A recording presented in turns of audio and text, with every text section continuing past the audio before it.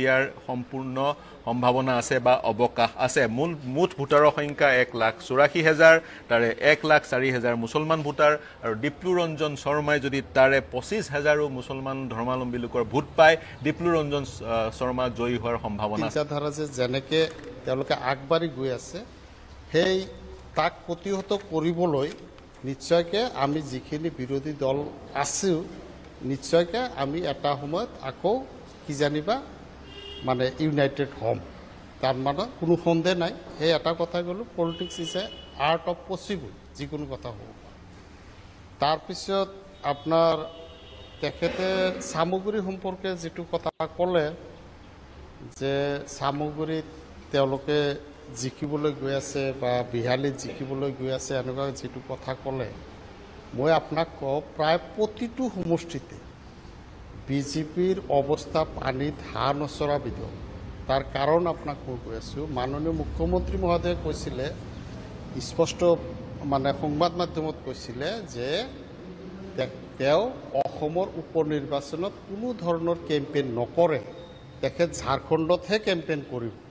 যেতিয়া দেখা পালে যে বিহালীতো হাৰি আছে, চামুগুৰিতো হাৰি আছে বঙাইগাঁৱতো হাৰি আছে, ধলাইতো হাৰি আছে তেতিয়া তেখেতৰ মানে এই ঝাৰখণ্ডৰ কাৰ্যসূচী চুমুৱাই পেলাই অসমত আহি তেখেত মানে মান সন্মান ৰক্ষা কৰাৰ কাৰণে এটা প্ৰয়াস হাতত লৈছে। কিন্তু ইতিমধ্যে ৰাইজে ডিচিশ্যন লৈ পেলাইছে সিদ্ধান্ত লৈ পেলাইছে যে বিজেপিৰ যি অপশাসন মূল্যবৃদ্ধিয়ে কওক নিবনুৱা সমস্যাই কওক যি ধাৰৰ পলিটিক্স ধাৰ কৰি পেলাই যিধৰণে ৰাজ্যখনক চলাই আছে এনেকুৱা অৱস্থা যে মিড ডে মিলৰ টকা পৰ্যন্ত ঘূৰাই ল'ব লগা হৈছে চৰকাৰখন। হয়। এনেকুৱা অৱস্থা যি অৰ্থনীতিৰ যি অৱস্থা ৰাজ্যখনত আছে ৰাইজে এইবিলাক বুজি পেলাই ইতিমধ্যে সিদ্ধান্ত লৈছে। বিজেপিক উপ নিৰ্বাচনৰ জৰিয়তে এটা প্ৰতিবাদ তেওঁলোকে সাব্যস্ত কৰিবলৈ মই প্ৰতিক্ৰিয়া ল'ম। গগৈ ডাঙৰীয়াই প্ৰতিক্ৰিয়া প্ৰকাশ কৰিব বিচাৰিছিলে। গগৈ ডাঙৰীয়াই প্ৰতিক্ৰিয়া প্ৰকাশ কৰিব বিচাৰিছিলে। মুখ্যমন্ত্ৰী ডাঙৰীয়াই উপ নিৰ্বাচনত উপ নিৰ্বাচনৰ প্ৰচাৰ চলাবলৈ ঝাৰখণ্ডৰ পৰা আহিবলগীয়া হৈছে। এটা প্ৰাসংগিক কথা কি প্ৰত্যুত্তৰ দিব? কিয় তেওঁ আহিবলগীয়া হ'ল? বা বিজেপি আপোনালোকে প্ৰতিটো নিৰ্বাচন গুৰুত্ব সহকাৰে লয় নাই। তেখেতটো ঝাৰখণ্ডৰ মানুহ নহয় নহয়। মুখ্যমন্ত্ৰী ডাঙৰীয়া অসমৰ মুখ্যমন্ত্ৰী হয়। তেখেতৰ ঘৰ দিছপুৰত। গতিকে দিছপুৰৰ মানুহজনে অসমৰ ৰাজ্যখনত এটা উপ নিৰ্বাচন হৈছে। তেখেতে এটা দিন কেম্পেইন কিয় নকৰিব? আপোনালোকৰ পাৰ্লিয়ামেণ্টৰ deputy deputy leader Gaurav Gogoi ডাঙৰীয়াই ইয়াত বিহালীত কেম্প পাতি লৈছে। ডেপুটি লিডাৰ গৌৰৱ গগৈ ডাঙৰীয়াই বিহালীত কেম্প। কৰি লৈ যোৱা পোন্ধৰ বিশ দিন এমাহ ধৰি পেলাই তেওঁ ইয়াত কেম্প কৰি আছে মাননীয়? মুখ্যমন্ত্ৰী আপোনালোকে- মহোদয়ে বক্তব্য দিছিলে যে তেখেতে ঝাৰখণ্ড অসমত নাই নাই যোৱাকালি যোৱাকালি আপোনাৰ বঙাইগাঁৱত কৰিছে আজি ইফালে কৰিছে এদিন। কেনেকে হ'ল নিশ্চিন্ত আপোনাক থাকক। দেখুৱাই দিলো আপোনালোক নিশ্চিন্ত থাকক এইবাৰ চবতে। আপোনালোক হাৰিব ৰকিবুল হুছেইনৰ অৱস্থা কি হৈছে আপুনি নিজে চাওকচোন ৰকিবুল হুছেইন গৌবে হয়। ৰকিবুল হুছেইন হয়। মুৰ্দাবাদ আজি কৈছে হয়, আজি হয়। আমি-। ঝাৰখণ্ডৰ পৰা কৈছে। আহ, মানে চমুৱাই পেলাই অসমলৈ আহিব লগা হৈছে এইবিলাক আপোনালোক জয় হোৱাৰ খুব আপোনালোকৰ সপক্ষে যে বঁটা। কৰিছে তাৰ এইবিলাক ধৰ্মী কৈছে। হয় কাৰণ ইছলাম ধৰ্মী লোকে আপোনালোকক ভোট দিবই। কাৰণ ইছলাম ধৰ্মাৱলম্বী মহিলাসকল সন্তান জন্ম দিয়া মেচিন। মই। টুপিৰ ভোট নালাগে বুলি মুখ্যমন্ত্ৰীয়ে দিনে দুবাৰকৈ গালি পাৰে আপোনালোকক ভোট নিদিয়াও থাকিব পাৰে। অলিক সপোন দেখি লাভ নাই। হয় হয় নাই, নাই, আপোনালোকক দিবই লাগিব। ইছলাম ধৰ্মী আপোনালোকক ভোট ভালকে দিব। হয় পঁচপন্ন শতাংশ ইছলাম ধৰ্মী লোক থকা চামগুৰিত আপোনালোকৰ জয় নিশ্চিত। ডাঙৰীয়া চক্ৰধৰ গগৈ ডাঙৰীয়া চক্ৰধৰ গগৈ ডাঙৰীয়া ৰূপক দাস ডাঙৰীয়া আপোনালোকে যে হিন্দু মই- সামৰিব লাগিব। সামৰিব লাগিব। হয়। মই অনুষ্ঠান সামৰিব লাগিব। অনাগত সময়ত অনাগত সময়ত অৱকাশ পাম। উপ নিৰ্বাচন উপ নিৰ্বাচন তেৰ তাৰিখে পাঁচটা সমষ্টিত কোনে শেষ হাঁহি মাৰে সেয়া আমি তেইছ নৱেম্বৰ তাৰিখে গম পাম। অনাগত সময়ত আৰু আমি অৱকাশ পাম এই উপ নিৰ্বাচন সন্দৰ্ভত আলোচনা কৰিবলৈ। মোৰ সৈতে সংযুক্ত হোৱাৰ কাৰণে ধ্ৰুৱজ্যোতি বৰা অমৃত খাটনীয়া ৰূপক দাস আব্দুল বাটেন খণ্ডকাৰ চক্ৰধৰ গগৈ আৰু জয়ন্ত কুমাৰ গোস্বামী সকলোকে ধন্যবাদ জ্ঞাপন কৰিছোঁ। প্ৰিয় দৰ্শক এই চিন্তাৰ সমলেৰে আজি অনুষ্ঠান সামৰিছোঁ। শুভৰাত্ৰি।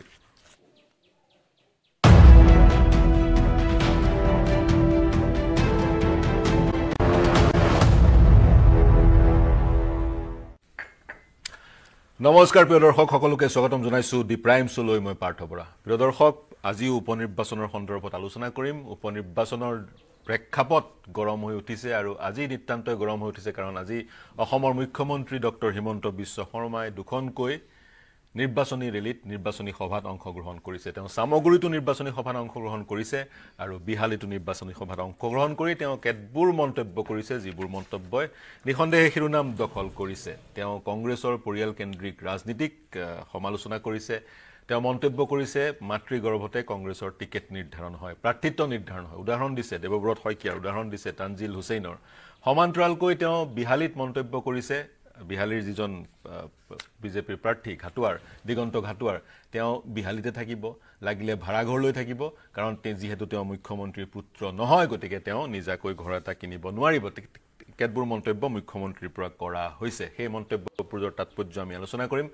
তাৰ সমান্তৰালকৈ ৰকিবুল হুছেইন বনাম হিমন্ত বিশ্ব শৰ্মাৰ আন এক বাকযুদ্ধ পৰিলক্ষিত হৈছে বিশেষকৈ চাকৰিক লৈ। ৰকিবুল হুছেইনে নিয়ম বৰ্হিভূতভাৱে চাকৰি প্ৰদান কৰাৰ অভিযোগ উত্থাপিত হৈছে। ইয়াৰ প্ৰত্যুত্তৰ ৰকিবুল হুছেইনেও দিছে। গতিকে নিৰ্বাচনৰ সময়ত এনেধৰণৰ বাকযুদ্ধ পৰিলক্ষিত হৈছে। বিভিন্ন সময়ত বিগত সময়তো আমি এই নিৰ্বাচনৰ উপ নিৰ্বাচনৰ যি আলোচনা আলোচনাত দুটা বিষয় প্ৰাসংগিক বিষয় উত্থাপন কৰিছিলোঁ। এটা কংগ্ৰেছ বনাম বিজেপি গতানুগতিক আৰু তাৰ পিছত মিত্ৰজোঁট অসম সন্মিলিত মঞ্চত যি এক ফাট পৰিলক্ষিত হ'ল বিশেষকৈ কংগ্ৰেছে পৃথকে প্ৰাৰ্থিত্ব দিয়াক লৈ যি এক হৈচৈ সৃষ্টি হ'ল সেই সন্দৰ্ভতো আলোচনা কৰিছিলোঁ। আজিও আলোচনা কৰিম। মুখ্যমন্ত্ৰীৰ নিৰ্বাচনী ৰেলীয়ে কি তাৎপৰ্য বহন কৰিছে মুখ্যমন্ত্ৰীৰ মন্তব্যসমূহে কি তাৎপৰ্য বহন কৰিছে সমান্তৰালকৈ অখিল গগৈয়ে কেতবোৰ মন্তব্য কৰিছে গৌৰৱ গগৈলৈ গৌৰৱ গগৈ সন্দৰ্ভত সকলো আলোচনা কৰিম। ষ্টুডিঅ'ত উপস্থিত আছে ধ্ৰুৱজ্যোতি বৰা ৰাইজৰ দলৰ মুখপাত্ৰ অমৃত খাট খাটনিয়াৰ অসম জাতীয় পৰিষদৰ মুখপাত্ৰ ৰূপক দাস কংগ্ৰেছৰ জ্যেষ্ঠ মুখপাত্ৰ আব্দুল বাটেন খণ্ডকাৰ বিধায়ক কংগ্ৰেছৰ তেওঁ সংযুক্ত হৈ থাকিব বঙাইগাঁৱৰ পৰা।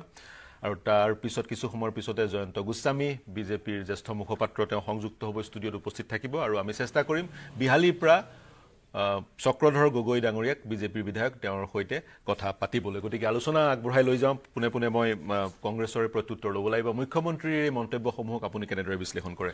ৰূপক দাস ডাঙৰীয়া। চাওক, আহ, যি ধৰণৰ কথা আজি তেখেতে কৈছে এইবিলাক কথা নিৰ্বাচনৰ আগতনো কেলেই মনত পৰে? হয়। যদি কিবা আছিল তেওঁ আজি বিগত তিনিটা বছৰ ধৰি অসম ৰাজ্যৰ তেওঁ মুখ্যমন্ত্ৰী পদত আছে যদি কিবা তেনেকুৱা আছিল সেইবিলাক আগতেই কৰিব লাগিছিল। এই কথাবিলাকত ভোটাৰ ৰাইজে আমোদ পায়। তাৰ বাহিৰে বেলেগ একো হ'ব বুলি আমি নাভাবোঁ। তেওঁলোকে আমোদ পাইছে যে এইবিলাক নিৰ্বাচন কেন্দ্ৰিক এতিয়া তেওঁ ক'ব লাগে কাৰণে এইবিলাক কথা কৈছে। আৰু যদি তেনেকুৱা হৈছিলে নিযুক্তি প্ৰক্ৰিয়াত যদি কিবা আছে সেই সময়ত আৰু চামগুৰি সমষ্টিৰ বাহিৰে আৰু অসমৰ বাকী এশ পঁচিছটা সমষ্টিত ক'ত ক'ত কিমান চাকৰি পাইছিল সেইবিলাকৰো যাতে তেওঁ মানে সেইবিলাকৰ তদন্তৰ আওতাত আনে সেইটোৰ কাৰণেও আমি দাবী জনাম। আৰু বিশেষভাৱে জালুকবাৰী সমষ্টিটো আৰু কিমান ঘৰে ঘৰে পাইছিলে। কোনে কোনে পাইছিল সেইবিলাকো যাতে তেওঁ তদন্তৰ আওতাত আনে। আৰু তাৰ ভিতৰত আহে একেলগে গোটেই সমগ্ৰ প্ৰক্ৰিয়াটো হ'লে ৰাইজে তেতিয়া মানে এটা ভাল পাব। আৰু অন্যথা তেওঁ যদি এই ধৰণে খালি কোনোবা এজন ব্যক্তি বিশেষক কথা লৈ নিৰ্বাচনৰ আগত এই ধৰণৰ কথাবিলাক কৈ থাকে তেতিয়াহ'লে এইবিলাক নিৰ্বাচনী এটা ঝুমলাৰ দৰে হ'ব। হয়। আৰু দ্বিতীয় কথা হ'ল আজি যিটো কথা হৈছে তেওঁলোক আচলতে চামগুৰিত কাৰণ আপোনালোকে যদি বিগত সময়ছোৱাৰ হেৰি চাওঁ আমি দেখোঁ যে চামগুৰিত আজি ঊনৈছশ একানব্বৈ চনৰ পৰা প্ৰায় ছবাৰ কংগ্ৰেছৰ বিধায়ক হৈছে আৰু এবাৰ অসম গণ পৰিষদৰ বিধায়ক হৈছিলে। হয়। তো এতিয়া সেই যিটো এটা কংগ্ৰেছৰ দুৰ্গৰ দৰে হৈ আছিলে সেই দুৰ্গটোক তেওঁলোকে বহু সময়ত চেষ্টা কৰিছিল তেওঁলোকে পৰা নাই। এটা সময়ত জিতু গোস্বামী ডাঙৰীয়া তাত খেলিছিলে তেওঁ নোৱাৰিলে। তেনেকৈ তেওঁলোকে বিজেপি দল অহাৰ পিছত বিগত দুটা নিৰ্বাচন তেওঁলোকে বহুবাৰ চেষ্টা কৰিছে চামগুৰি তেওঁলোকে তেওঁলোকৰ দখললৈ আনিব পৰা নাই। সেই এটা তেওঁলোকৰ চেষ্টা অব্যাহত আছে আৰু সেইটো থাকিব স্বাভাৱিক কথা। এটা ৰাজনৈতিক দলে সকলোৱে সমষ্টিবিলাক জয় কৰাৰ চেষ্টা কৰে তেওঁলোকে কৰিছে তাত আমাৰ ক'বলগীয়া একো নাই। কিন্তু আজি তাত যি ধৰণৰ হিংসাত্মক ঘটনাই ৰূপ লৈছে আজি কংগ্ৰেছৰ এম এল এৰ সৌ সিদিনা আজি প্ৰায় এসপ্তাহ আগত বিধায়িকা শিৱামণি। বৰা বাইদেউৰ গাড়ী ভাঙিলে। তাৰপিছত সিদিনা বাটেন চিকদাৰৰ গাড়ী ভাঙিলে।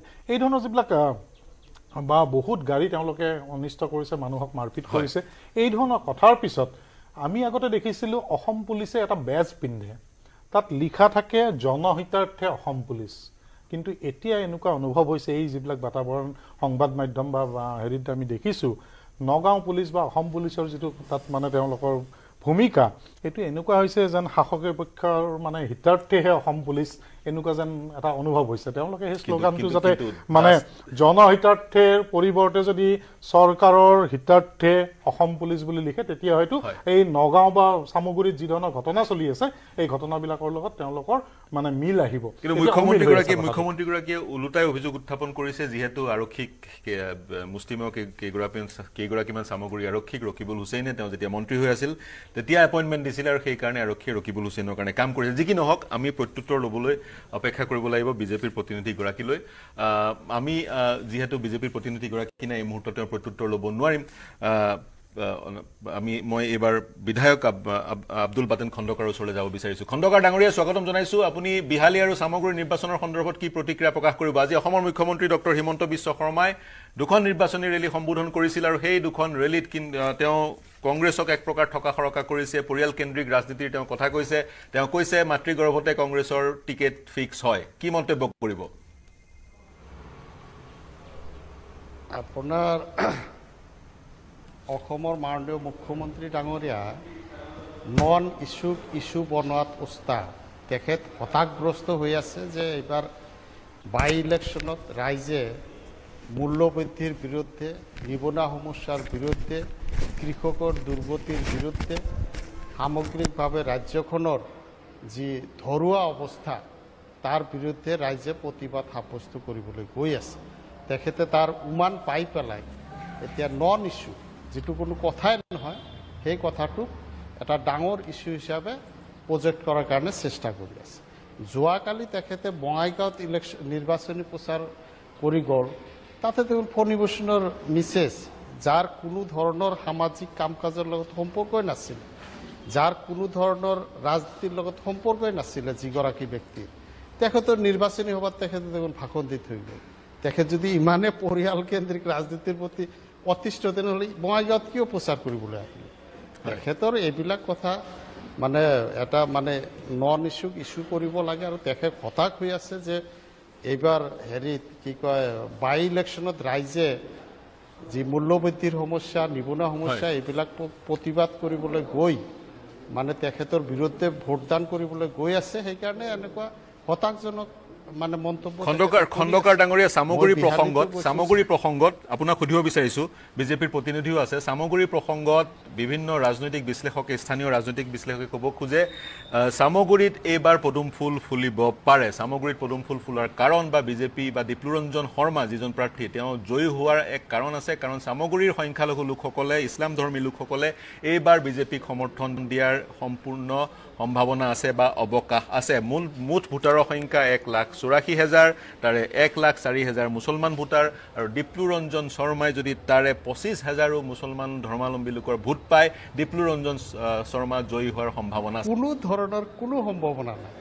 আমাৰ মাননীয় মুখ্যমন্ত্ৰী ডাঙৰীয়াই বিভিন্ন সভা সমিতিত ইতিমধ্যে কৈ থৈ দিছে যে মামা চাচাৰ ভোট মোক নালাগে। আজিৰ তাৰিখত যে তেখেতসকল মামা চাচাৰ শৰণাপন্ন হৈছে ইয়ে সূচায় যে তেওঁলোকৰ অৱস্থা কি ধৰণৰ হৈ আছে চামগুৰিত? চামগুৰিত কংগ্ৰেছ জিকাটো তানজিল হুছেইন জিকাটো হাণ্ড্ৰেড পাৰ্চেণ্ট নিশ্চিত। তাৰমানে মাননীয় মুখ্যমন্ত্ৰী ডাঙৰীয়া আজিৰ তাৰিখতকৈ সভা পাতি বেলেগ বেলেগ টাইপৰ কথা ক'লে নহ'ব। তেওঁ বিগত দিনত তেখেতৰ যদি ইতিহাস চোৱা যায় বিজেপিত যোৱা টাইপৰ এটা ষ্টেণ্ড আছে গতিকে মুছলমান ভোট তেখেতে যিমানখিনি দেখা পাইছে সিমানখিনি নাপায়। সমাজৰ একাংশ মানে লোক মানে শাসকীয় পক্ষৰ লগত থাকিব বিচাৰে। সামান্য তেনেকুৱা উদ্ভণ্ডালি কৰি আছে। এজে হ'ল সংখ্যালঘুসকলৰ ভোট আমাৰ মাননীয় মুখ্যমন্ত্ৰীক নালাগে বুলি কেইবাবাৰো কৈছে। নালাগে বুলি কৈছে, কিন্তু এইবাৰ সংখ্যালঘু- হয় মই প্ৰত্যুত্তৰ ল'ম গোস্বামী ডাঙৰীয়া আমাৰ সৈতে সংযুক্ত হৈছে বিজেপিৰ মুখপা- মুখপাত্ৰ জয়ন্ত কুমাৰ গোস্বামী ডাঙৰীয়া। আপুনি চামগুৰি আৰু বিহালীক প্ৰথমতে চামগুৰিলৈ আহোঁ আজি কেতবোৰ মুখ্যমন্ত্ৰীয়ে মন্তব্য কৰিছিল পৰিয়ালকেন্দ্ৰিক ৰাজনীতিৰ কথা তেওঁ চামগুৰিতো কৈছিল বিহালীতো কৈছিল। কি মন্তব্য কৰিব? চামগুৰিত বিভিন্নজনে ক'ব বিচাৰে এইবাৰ পদুম ফুলাৰ সম্ভাৱনা আছে। বিশেষকৈ বিজেপিয়ে সংখ্যালঘু লোকসকলৰ বা ইছলাম ধৰ্মী লোকসকলৰ ভোটেৰে এইবাৰ চামগুৰি দখল কৰিব বুলি ক'ব বিচাৰে বহুতে। কি ক'ব? চাওক চামগুৰিয়ে প্ৰথমবাৰৰ কাৰণে এজন অত্যন্ত সংবেদনশীল তথা জনসাধাৰণৰ লগত থকা আদৰ্শগতভাৱে ভাৰতীয় জনতা পাৰ্টীৰ লগত সম্পৃক্ত থকা এক শৈশৱকালৰে পৰা ৰাষ্ট্ৰীয় চেতনা আৰু চিন্তাৰে নিজকে বলিষ্ঠ নেতৃত্বৰে নিজকে নিজৰ যোগ্যতাৰে তেওঁ আগবাঢ়ি যোৱা এজন যুৱ নেতা দীপলৰঞ্জন শৰ্মা ডাঙৰীয়াক এইবাৰ চামগুৰিবাসী ৰাইজে পাইছে প্ৰাৰ্থী হিচাপে পাইছে।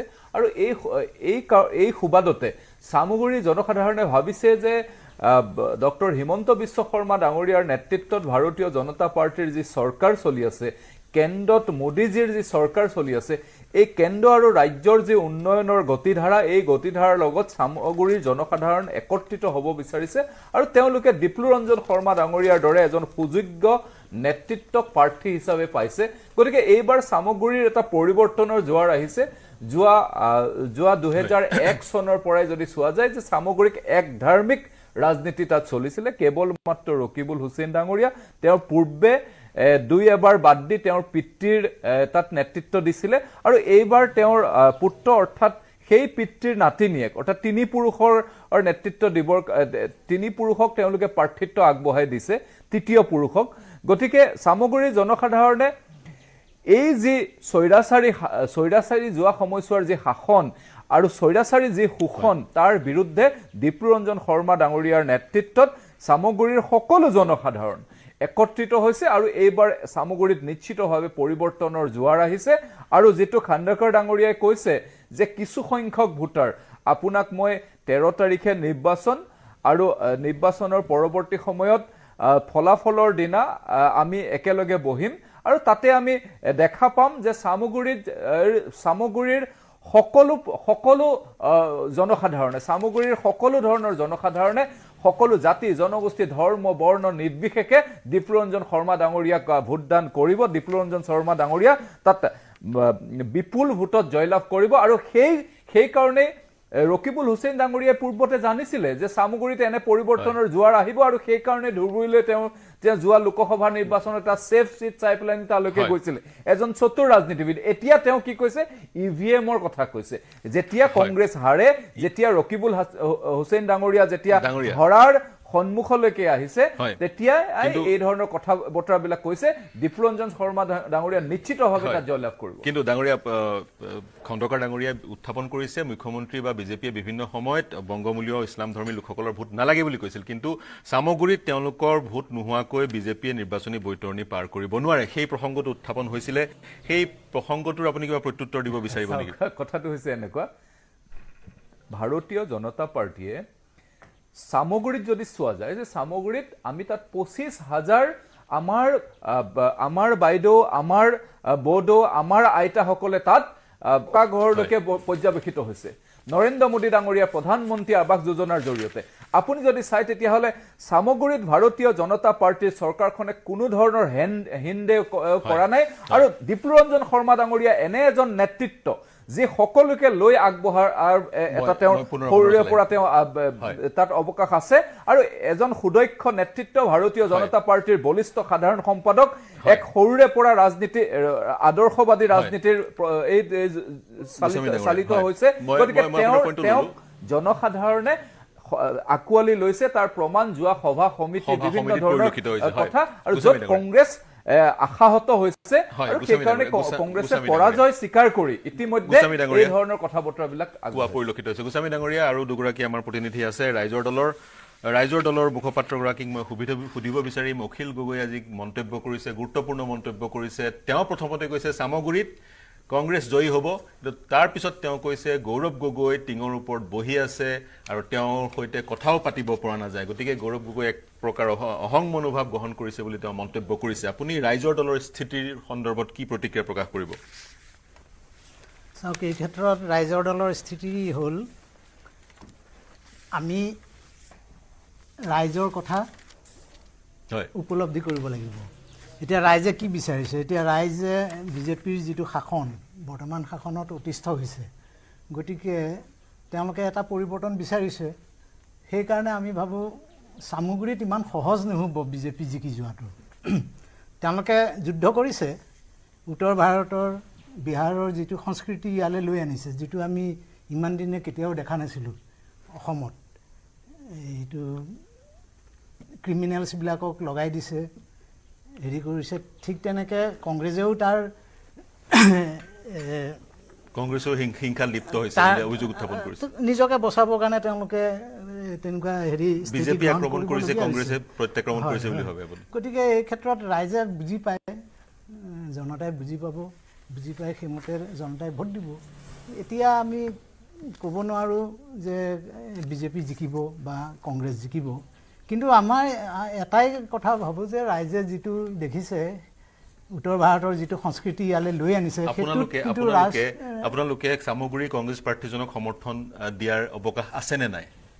কি ক্ষেত্ৰত?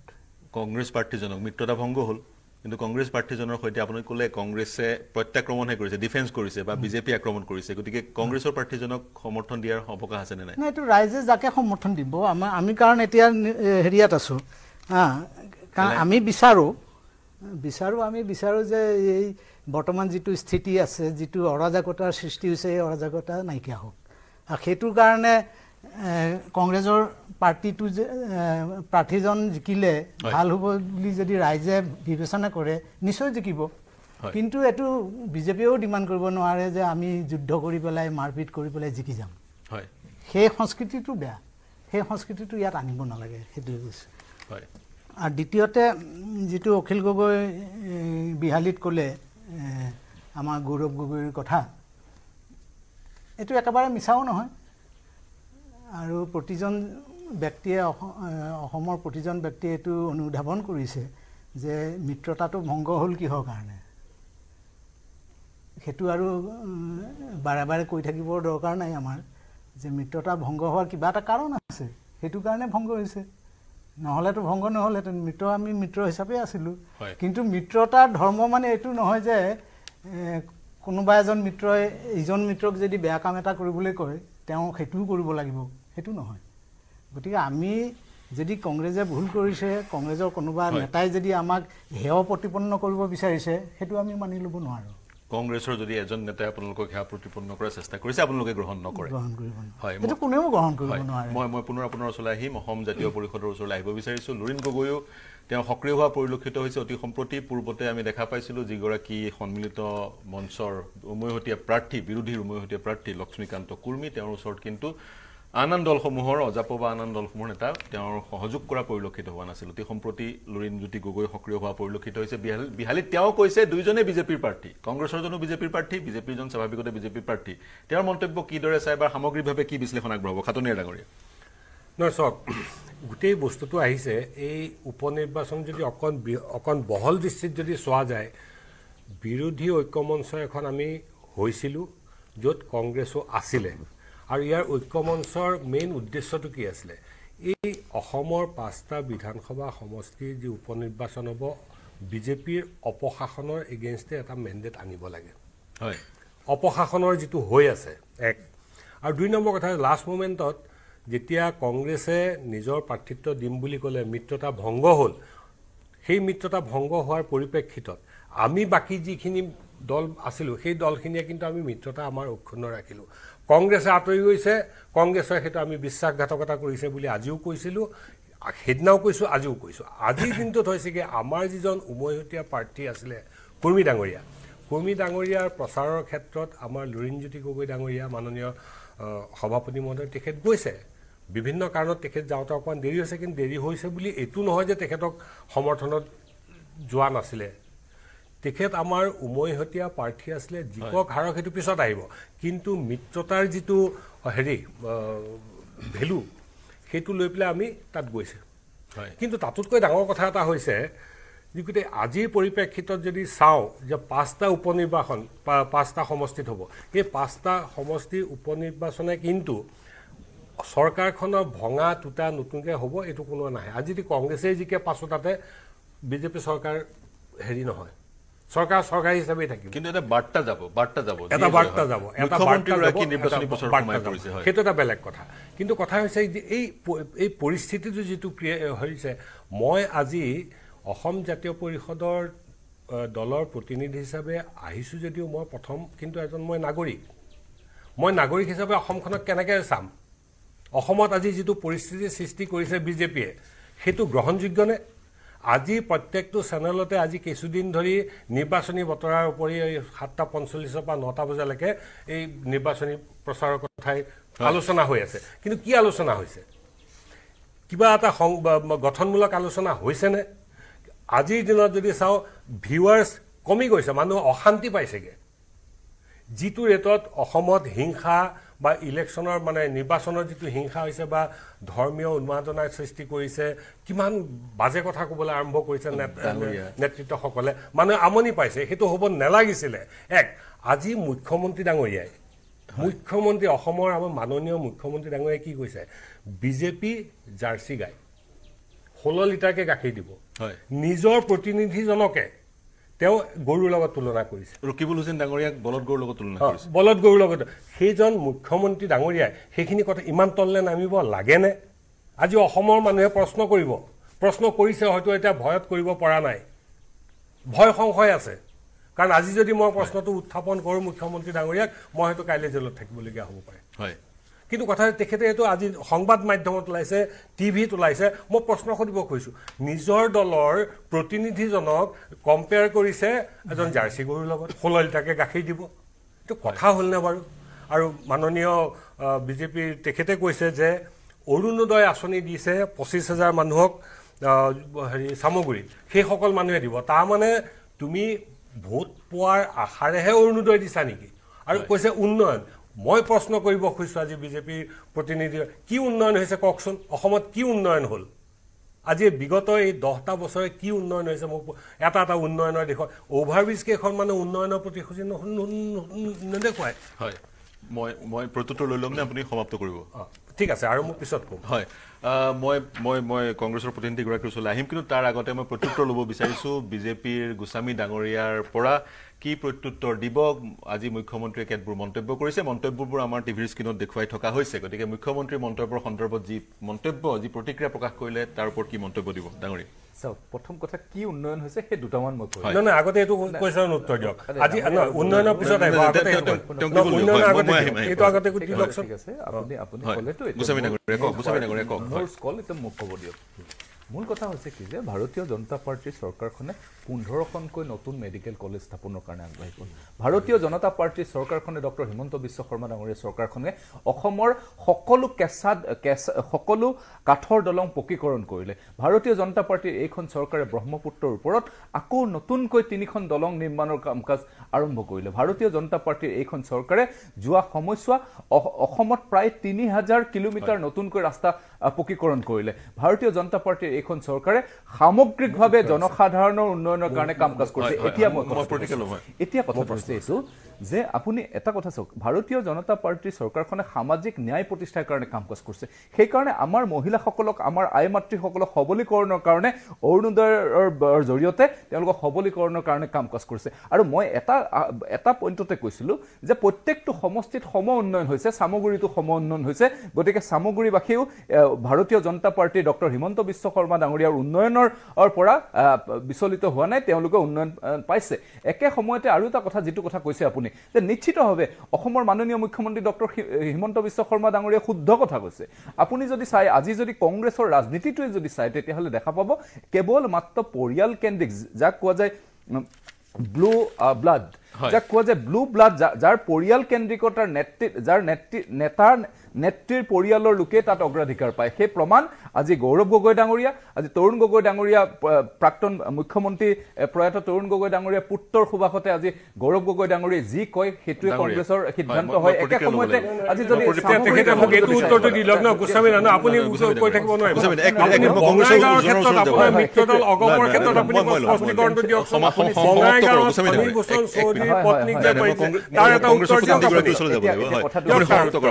আপুনি উন্নয়নৰ কথা ক'লে উন্নয়ন উন্নয়নৰ মোৰ কথা ক'ব। প্ৰত্যুত্তৰ মই ল'ম। দিছোঁ। উন্নয়ন উন্নয়নৰ তেখেতক মই এটা কুৱেশ্যন সুধিব। অসমত যদি। উন্নয়নৰ কথা। হৈছে।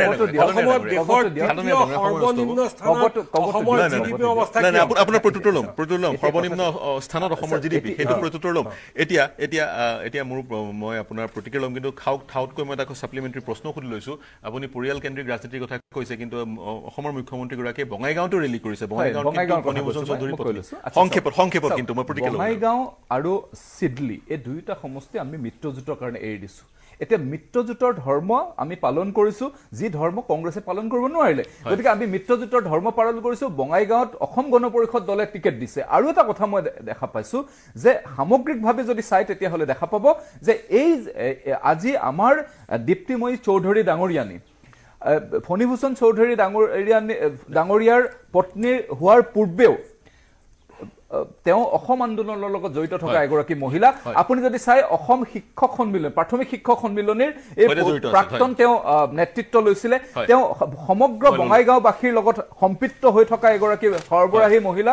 গতিকে তেওঁলোকৰ আঞ্চলিকসমূহে একত্ৰিত হৈ তেওঁক তেওঁক তেওঁক টিকেট টিকেটৰ। কথাটো আহিছে। গতিকে ভাৰতীয় জনতা পাৰ্টীয়ে মিত্ৰজোঁটৰ ধৰ্ম পালন কৰিছে যাকেই অসম গণ পৰিষদ দলে টিকেট দিছে। আমি নিশ্চিতভাৱে তেওঁ জিকাবৰ কাৰণে। আমি জঁপিয়াই। পৰিছো। মই কংগ্ৰেছৰ ওচৰলৈ আহিম। কংগ্ৰেছৰ প্ৰতিনিধিগৰাকীৰ ওচৰলৈ আহিম। উন্নয়নৰ খতিয়ান দাঙি ধৰিলে গোস্বামী ডাঙৰীয়াই আপুনি কি প্ৰতিক্ৰিয়া প্ৰকাশ কৰিব? এতিয়া চাওক তেওঁলোকে সঁচাই বিগত দহ বছৰত উন্নয়ন বহুত কৰিছে কাৰণ দুহেজাৰ চৈধ্য চনৰ পৰা দুহেজাৰ চৌব্বিছ চনলৈ যদি আমি চাওঁ এক নম্বৰ এক নৱেম্বৰ তাৰিখৰ এটা সমীক্ষা আহিছিল এন কে টিভিত ওলাইছিলে। যে দুহেজাৰ চৈধ্য চনত আলুৰ কেজি আছিল আঠ টকা এতিয়া হ'লগৈ বত্ৰিছ টকা। বিলাহী আছিল ছ টকা এতিয়া হ'লগৈ আশী টকা। চাউলৰ দাম আছিল চৈধ্য টকা এতিয়া হ'লগৈ পঞ্চাছ টকা। পিঁয়াজৰ দাম আছিল দহ টকা এতিয়া হ'ল সত্তৰ টকা। মচুৰ দালি আছিল ছয়ত্ৰিছ টকা এতিয়া এশ ষাঠি টকা। গাখীৰ আছিল চৈধ্য টকা এতিয়া আশী টকা।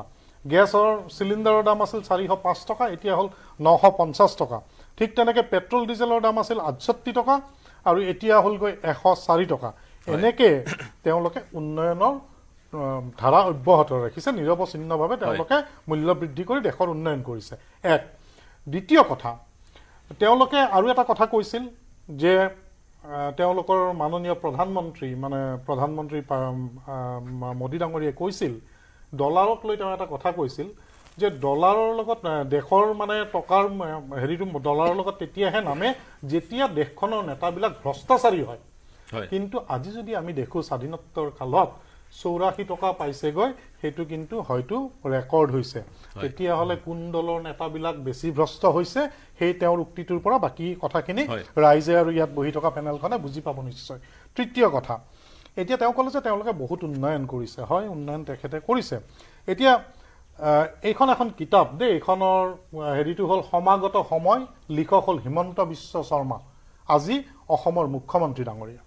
তেওঁ এইখন কিতাপৰ পঞ্চাছ নম্বৰ পৃষ্ঠাত লিখিছিল যেতিয়া নৰেন্দ্ৰ মোদী ডাঙৰীয়া আঠ ফেব্ৰুৱাৰীত অসমলৈ আহি তেওঁ কৈছিল যে গুজৰাটত তেৰ হাজাৰ শিক্ষকক নিযুক্তি দিয়া হৈছে তথ্য প্ৰযুক্তিৰ সহ- সহায় লৈ পেলাই কোনো দুৰ্নীতি নোহোৱাকৈ। তেতিয়া তেওঁ কৈছিল যে অসমতো আমি ষাঠি হাজাৰ সেই পদ্ধতি অৱলম্বন কৰি ষাঠি হাজাৰ টেট শিক্ষকক নিযুক্তি দিছিলোঁ এইটো ৰাজ্যিক বিজেপিয়ে তেওঁক অৱগত কৰিব লাগিছিল এইটো নকৰিলে। আৰু তেওঁ লগতে কৈছিল স্বাস্থ্য সেৱাৰ ক্ষেত্ৰত অসমত টেলি ৰেডিঅ'লজিৰ প্ৰচলন হৈছিল আৰু এইটো অন্য ৰাজ্যত ক'তো ভাৰতবৰ্ষ হোৱা নাছিল প্ৰথম ৰাজ্য অসম বুলি কৈছিল। ঠিক তেনেকে ঠিক তেনেকে আপোনাৰ তেওঁ আৰু এটা আছে মই মই এইখিনি অলপমান অকণমান টাইম দিয়ক মই পঢ়ি দিব বিচাৰিছো যাতে ৰাইজে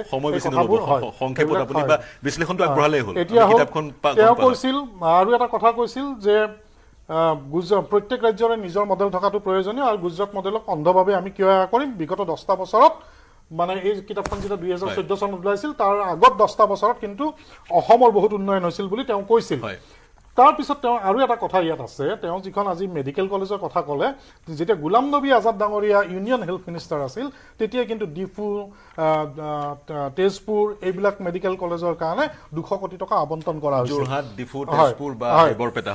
এইবিলাক কলেজৰ কাৰণে দুশ। কোটি টকা তেতিয়া দিয়া হৈছিল। তেতিয়া কিন্তু চৰকাৰখন কংগ্ৰেছৰ আছিল আৰু তেতিয়া গোলাম নবী আজাদ ডাঙৰীয়া কেন্দ্ৰত স্বাস্থ্যমন্ত্ৰী আছিলে। ঠিক তেনেকে দেশৰ প্ৰতি সোতৰশ মানে এহেজাৰ মানুহৰ বিপৰীতে এজন চিকিৎসক থাকিব লাগে কিন্তু অসমত সোতৰশ মানুহৰ বিপৰীতে এজন চিকিৎসক আছে। আৰু সেই হেৰি মতে আছিলে দুই হেজাৰ বিছ চনত চাৰি লাখ শিক্ষকৰ প্ৰয়োজন অসমত হ'ব লাগে হ'ব বুলি এটা হেৰি হৈছিলে। ভাৰতবৰ্ষত কিন্তু এতিয়া সেই শিক্ষকৰ যিটো মানে প্ৰয়োজনীয়তা আছিল সেইটো এতিয়া পূৰণ হ'ল নে নহ'ল সেই উন্নয়নবিলাকৰ ক্ষেত্ৰত তেওঁলোকে কি কৰিছে? এই ধৰণৰ বহুত কথা। এই কিতাপখনত আছে এই- কিতাপখন এই কিতাপখন চালে আপোনালোকে গম। পাব। আৰু এতিয়া- মই এটা কথা লৈ আহিছো। আজি মই এই কথাখিনি তেতিয়াও কৈ গৈছিলো। এইজন মুখ্যমন্ত্ৰী আজি তেওঁলোকে কৈছে যে চামুগুৰিত তেওঁলোকে জিকিব। মই তেওঁলোকক এতিয়াও কওঁ তেওঁলোকৰ চৰকাৰ চলি আছে তেওঁ যদি পাৰে চামুগুৰি সমষ্টি বা এই পাঁচটা সমষ্টিত তেওঁলোকে বেলতত নিৰ্বাচন পাতিব লাগিছিল। ইমান সহায়কাৰী দল ইমান তেওঁলোকে উন্নয়ন কৰিছে উন্নয়নত স্বাৰ- স্বাৰ্থত ৰাইজে ভোট দিব। পাঁচটা সমষ্টিত নিশ্চয় পাৰিলেহেঁতেন। কিন্তু সমীকৰণ নিমিলা চামুগুৰি সমষ্টিত য'ত পঁচপন্ন শতাংশ মাইনৰিটিৰ ভোট আছে মুছলিম মানুহৰ ভোট আছে তাত তেওঁলোকে কি ধৰণে জয়ী হ'ম বুলি তেওঁলোকে জল্পনা কল্পনা কৰিছে তাৰ কথাটো হ'ল য'ত স্বয়ং মুখ্যমন্ত্ৰীজনে কৈ থৈছিল যে। চাচা মামা লুঙি টুপিৰ ভোট নালাগে আৰু এই ইছলাম ধৰ্মাৱলম্বী মহিলাসকলক তেওঁলোকে সন্তান জন্ম দিয়া মেচিন বুলি কৈ যি কটাক্ষ কৰিছিল তাৰ উত্তৰ কিন্তু আজি চামুগুৰিবাসীয়ে দিব ডাঙৰীয়া, আৰু তেওঁ আজি দুমুখীয়া চৰিত্ৰ লৈ পেলাই দিব। চামুগুৰিত তেওঁ ভোট বিচাৰিবলৈ গৈছে। আৰু আৰু এটা কথা আপুনি চাব অসম পুলিচৰ যিটো হয়। চামুগুৰিত লৈ পেলাই যিটো কথা মই। তেতিয়া কৈছিলো তেখেত নাছিলে শুনা নাই চাগে। সেইকাৰণে মই পুনৰ দোহাৰিব বিচাৰিছো। আমি অসম পুলিচৰ এটা বেজ গাত লাগি থকা দেখা পাওঁ য'ত লিখা থাকে জনহিতাৰ্থে অসম পুলিচ কিন্তু আজি চামুগুৰি অঞ্চলত যি ধৰণৰ ঘটনা। প্ৰবাহ চলিছে তাৰ। পৰা আমাৰ এনেকুৱা লাগিছে যে সাহসীয় পক্ষৰ হিতাৰ্থে অসম পুলিচ যেন তেনেকুৱা এটা এইটো উচিত হ'ব এই। কথাবিলাকো মই বিধায়ক মই ডাঙৰীৰ ওচৰলৈ যাব বিচাৰিছো এই জনাইছোঁ। মুহূৰ্তত বিধায়ক ডাঙৰীৰ ওচৰলৈ যাব বিচাৰিছো কিন্তু আপুনি এটা কথা ক'লে আপুনি বিচাৰিছে আপুনি দাবী কৰিছে যিটো চাগৈ সম্ভৱ হৈ নুঠিব দাবী কৰিছে বেলট পেপাৰত নিৰ্বাচন অনুষ্ঠিত কৰাৰ গতিকে আপুনি আশংকা প্ৰকাশ কৰিছে বিজেপিয়ে নিৰ্বাচনী বৈতৰণি পাৰ হ'ব E V M malpractice বা ই ভি এম মেনিপুলেট কৰি নহয় জানো সেইটোৱে কৈছে ৰূপক দাসে কেনেকে নিমিলা অংক এটা কেনেকে নিমিলা অংক মিলাব। নিমিলা অংক কেনেকে 55 মিলাব, হয়। মাইনৰিটি ভোট আছে আৰু য'ত স্বয়ং মুখ্যমন্ত্ৰীয়ে মাইনৰিটি মানুহক সদায় গালি পাৰি থৈছে হয়। ৰাতিপুৱা এবাৰ আবেলি দুবাৰকে গালি পৰা তাৰপিছত মুখ্যমন্ত্ৰীয়ে কি ধৰণত তেওঁলোকে জিকিব বুলি তাৰপিছত তেওঁলোকে কেনেকৈ। জিকিব বুলি তেওঁলোকে কৈছে সি এক ডাঙৰ প্ৰশ্ন মই বিধায়ক বিধায়ক ডাঙৰীৰ ওচৰলৈ যাব বিচাৰিম বিধায়ক ডাঙৰীয়া আমি বিভিন্ন কথা পাতি আছিলো চামগুৰি প্ৰসংগটো উত্থাপন হৈছিলে উন্নয়নৰ প্ৰসংগ উত্থাপন কৰিছে বিজেপিৰ মুখপাত্ৰগৰাকীয়ে গতিকে যিবোৰ বিষয়ৰ সন্দৰ্ভত আমি ইয়াতে কথা পাতি আছো সেইবোৰ বিষয়ে ভোটাৰক বিহালী আৰু চামগুৰি ভোটাৰক স্পৰ্শ কৰিবনে আপুনি কি ভাবে? বা উন্নয়নৰ প্ৰসংগটোত আপুনি কি প্ৰত্যুত্তৰ প্ৰকাশ কৰিব? উন্নয়নত আমাৰ কংগ্ৰেছ দলৰ প্ৰবক্তাগৰাকী যথেষ্টখিনি বিৱৰি কৈছে। তথাপি এটা দুটা পইণ্টহে কৈছোঁ। হয় এইখন চৰকাৰে স্কুল বন্ধ কৰি মদৰ দোকান খুলিছে। উন্নয়নৰ নমুনা এইটো এটা। স্কুল বন্ধ কৰি মদৰ দোকান খোলাটো এটা উন্নয়নৰ নমুনা। তাৰপিছত বিগত এইখন চৰকাৰে চাৰ্জ লোৱাৰ আগত প্ৰায় সত্তৰ বছৰত মানে কংগ্ৰেছ মেক্সিমাম সময় কংগ্ৰেছ শাসনত আছিল ধাৰ আছিল মাত্ৰ বিয়াল্লিছ হাজাৰ কোটি টকা। আৰু এইখন চৰকাৰে এই যিটো মোটামুটি ধৰক আঠ ন বছৰমান হ'ল তাতে ধাৰ ল'লে কিমান? ধাৰৰ অসমৰ ধাৰৰ পৰিমাণ কিমান হ'ল? এক লাখ চুৱান্ন হাজাৰ কোটি টকা। আজিৰ তাৰিখত কোনোবা ল'ৰা ছোৱালী অসমত জন্মগ্ৰহণ কৰিলে তেওঁৰ মূৰত চল্লিছ হাজাৰ টকাৰো ওপৰত ঋণ পৰিব। পাৰ কেপিটা ঋণ হিচাপত ধৰিলে গতিকে এইটো হৈছে উন্নয়নৰ নমুনা। বাকী ই ভি এম সম্পৰ্কে মই কৈছোঁ আপোনাৰ ই ভি এম সম্পৰ্কে আমাৰ ডাউটটো ক'ৰ পৰা আহে? যিটো আমি ইলেকশ্যন কমিশ্যনৰ তথ্যভিত্তিক আমি কমপ্লেইন কৰিছোঁ কিন্তু ইলেকশ্যন কমিশ্যনৰ ফালৰ পৰা আমি সৎ উত্তৰ পোৱা নাই এতিয়ালৈকে। তাৰমানে হাৰিয়ানা কিছু কাউণ্টিঙৰ সময়ত কিছুমান ই ভি এম পোৱা গ'ল যে তাত চাৰ্জ কিমান তাতে যেতিয়া কাউণ্টিং কৰা হয় চাৰ্জ ৰেকৰ্ডটো কিমান এই মেচিনটো কিমান চাৰ্জ হৈছে বেটাৰী কিমান চাৰ্জ হৈছে সেইটো ডিছপ্লে হয়। হাৰিয়ানাত দেখা গ'ল আঠানব্বৈ নিৰান্নব্বৈ শতাংশ চাৰ্জ হোৱা ই ভি এম পোৱা গ'ল।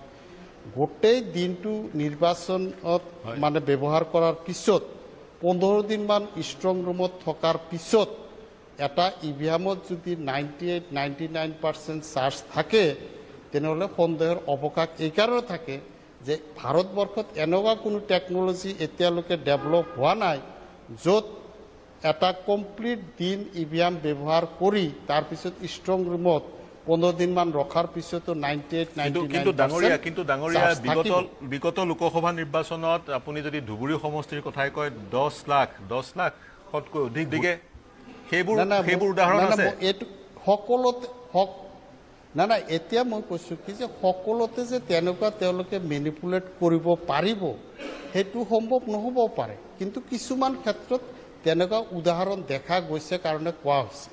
তাৰপিছত সামগ্ৰীত আশংকা প্ৰকাশ কৰিছে নেকি? সামগ্ৰীত আশংকা প্ৰকাশ কৰিছে নেকি? তেনেধৰণৰ মেনিপুলেশ্যন কৰা হ'ব বুলি।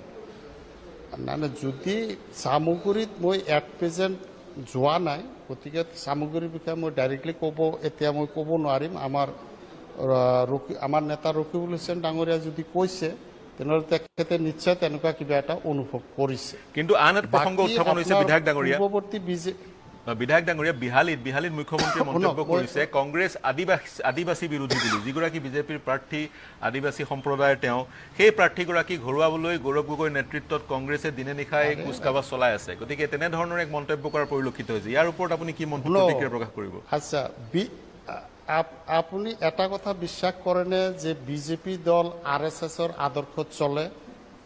হয়। গতিকে সেই সেই আৰ এছ এছে কি কয় জানে? আদিবাসী শব্দটোৱে তেওঁলোকে ব্যৱহাৰ নকৰে। তেওঁলোকে বনবাসী। বাংলা। বুজিছে? তেওঁলোকে ইমান মৰ্যাদা দিয়ে যে যৌৱনত বসবাস কৰা বুলিহে তেওঁলোকে অভিহিত কৰে। গতিকে বিজেপিৰ অভিধানত এছ চি এছ টি আদিবাসীসকলক সন্মান দিয়াৰ কোনো মানে প্ৰকৃত কোনো মই পূৰ্বৱৰ্তী এটা কুৱেশ্যন আমি আন এটা অংশলৈ যাব বিচাৰিছোঁ সন্মুখত গভীৰ আস্থাৰ গান। মোর গান বহু আস্থাহীনতার বিপরীতে আস্থার গান। এই অনুষ্ঠানৰ মাজত কেইটামান প্ৰশ্ন আপোনাৰ পৰা মই জানি লওঁ। সেই সময়খিনিত আমি উপনীত হৈছোঁ।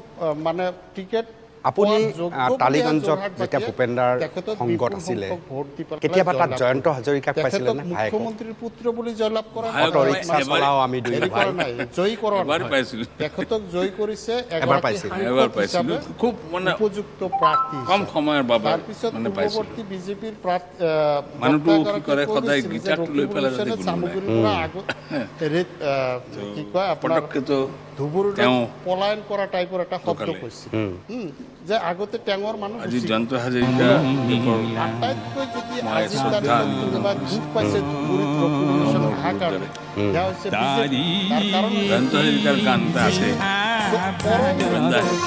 বাংলাত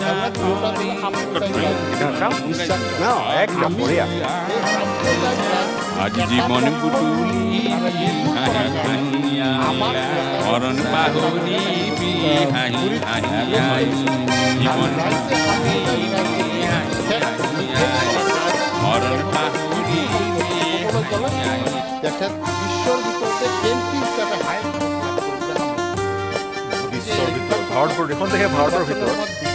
ভাৰতৰ ভিতৰত হয় মই আপোনাৰ আমি আমি যিখিনি এনালাইচিছ পাইছোঁ এম পি হিচাপে এম পি হিচাপে হয় হ'ব হ'ব পাৰে কাৰণ ভাৰতবৰ্ষৰ জনসংখ্যাৰ দৃষ্টিৰে জনসংখ্যাৰ দৃষ্টিৰে হ'ব পাৰে বিধায়ক বিধায়ক মহোদয় মই প্ৰত্যুত্তৰ লৈ লওঁ পুনৰ আপোনাৰ ওচৰলৈ যাম মই প্ৰত্যুত্তৰ লৈ লওঁ মই আহ, যাম অজাপৰ ৰাইজৰ দললৈ কিন্তু হাউচৰ মাধ্যমত বিজেপিৰ প্ৰতিনিধিগৰাকীৰ লগত যাব বিচাৰিছোঁ এ আই ইউ ডি হৈছে আৰু এ আই ডি এফৰ দুজন স্থানীয় নেতা তিনিজন বিজেপি যোগদান কৰিছে গতিকে এই বিষয়টোত আপুনি কি প্ৰতিক্ৰিয়া প্ৰকাশ কৰিব?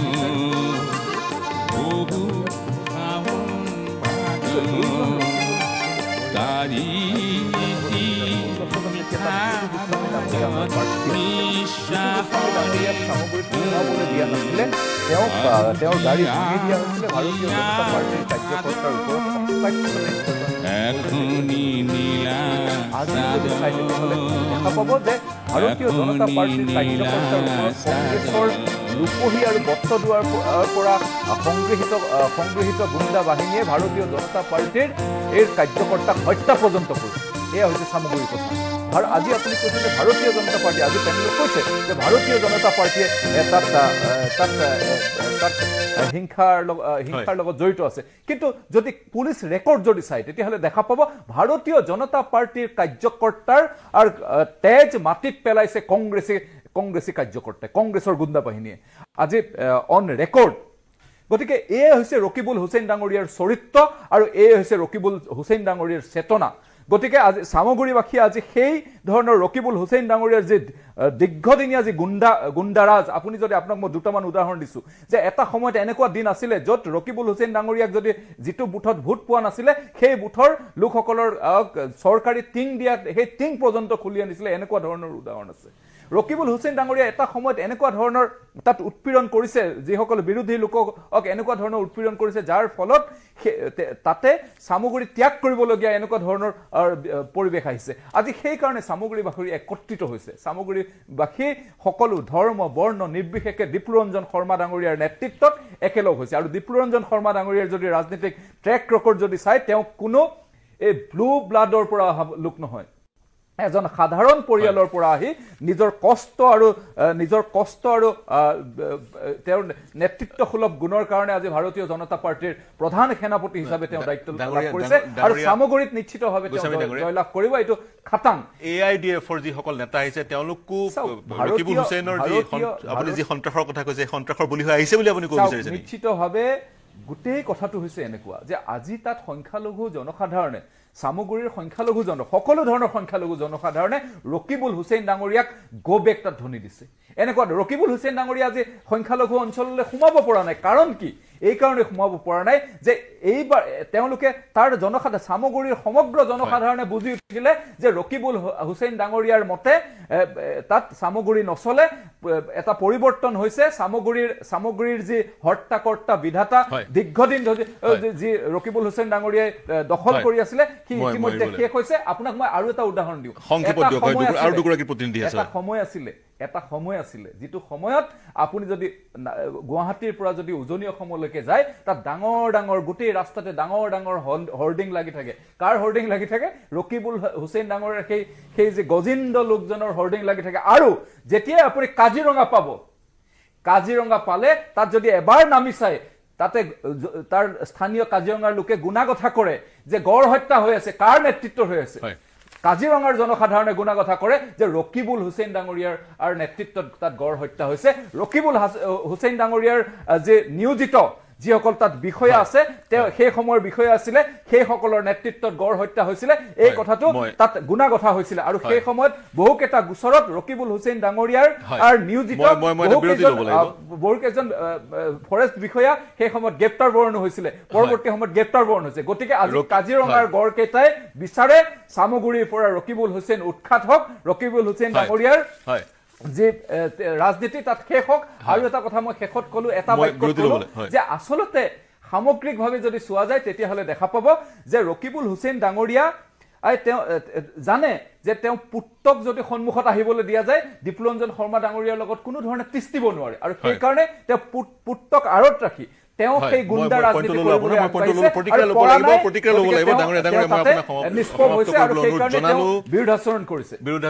জনালো। প্ৰাসংগিক প্ৰশ্নটো চামগুৰিৰ সংখ্যালঘু জনতাই বিজেপিক ভোট দিব নেকি? তেৰ তাৰিখে বা যেতিয়া ফলাফল ঘোষণা হ'ব তেইছ তাৰিখে আমি সেই কথাটো গম পাম বা ছবিখন জলজল পটপট হ'ব। এটা বিৰতি ল'ব লাগিব। বিৰতিৰ পিছত পোনে পোনে মই ৰাইজৰ দলৰ প্ৰতিনিধি আৰু অজাপৰ প্ৰতিনিধিগৰাকীৰ ওচৰলৈ যাম। এটা বিৰতি লৈছোঁ শীঘ্ৰে ঘূৰি আহিম।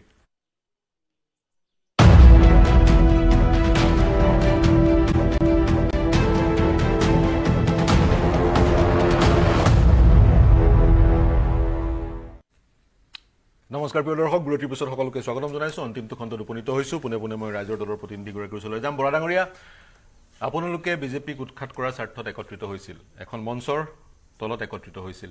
এতিয়া অনাগত সময়ত উপ নিৰ্বাচন শেষ হৈ যোৱাৰ পিছত ফলাফল ওলোৱাৰ পিছত কাৰণ উপ নিৰ্বাচনে চৰকাৰ ভাঙিব নোৱাৰে পাতিব নোৱাৰে। তেনেস্থলত অনাগত সময়ত দুহেজাৰ ছাব্বিছকলৈ লক্ষ্য কৰি পুনৰ একত্ৰিত হোৱাৰ সম্ভাৱনা আছেনে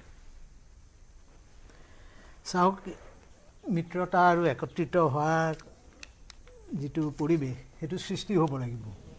আৰু এইটো সৃষ্টি কৰিব লাগিব কংগ্ৰেছে নিজেই। যদি কংগ্ৰেছে এনেধৰণৰ কাৰুকাৰ্য কৰি থাকে তেতিয়াহ'লে এইটো সম্ভৱ নহয়। কাৰণ বহুতে কয় কংগ্ৰেছে হাৰিয়ানাৰ পৰা বা মধ্যপ্ৰদেশ এইবিলাকৰ পৰা একো শিক্ষা লোৱা নাই।